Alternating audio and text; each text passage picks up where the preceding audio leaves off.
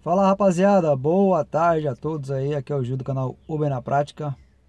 Rapaziada, mês de dezembro tá chegando.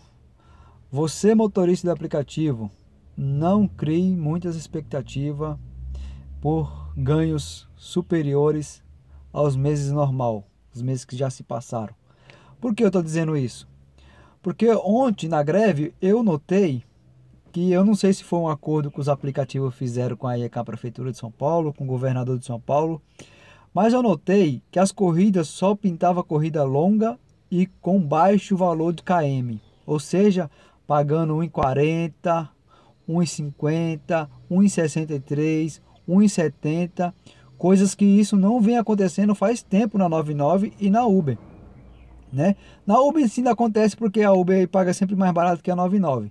Mas eu reparei que a 99 ontem estava péssimo para fazer corrida nela. Eu não sei por causa se foi esse acordo que eles fizeram entre a prefeitura e o estado, né?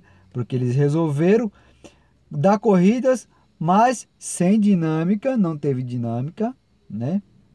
E quando tinha dinâmica, o valor do KM, ó, muito baixo, muito baixo. Eu não sei o que está acontecendo. Então, por isso, você, motorista de aplicativo, aqui na cidade de São Paulo, não crie essa expectativa aí, ah, mês de dezembro eu vou bater as metas, não é nem a meta, é as metas. Não. Faça o seu diário normal e vá trabalhando. Se for bom, amém, né? Mas não crie expectativa, ah, eu vou deixar para o mês de dezembro fazer isso, isso, isso, isso, porque janeiro é fraco. Não, né?